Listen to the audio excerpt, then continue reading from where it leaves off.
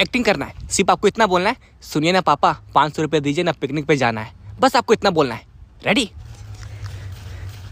Action सुनिए ना पापा पाँच सौ रुपये दीजिए ना पिकनिक पे जाना है। सुनिए ना पापा पाँच सौ रुपये दीजिए ना पिकनिक पे जाना है। सुनिए ना पापा। सुनाई दे रहा है बेरा नहीं हूँ मैं। साला। बाप से ऊँचा आवाज़ में बात कैसे किया रे अरे? पापा हम लोग तो सिर्फ़ एक्टिंग कर रहे हैं।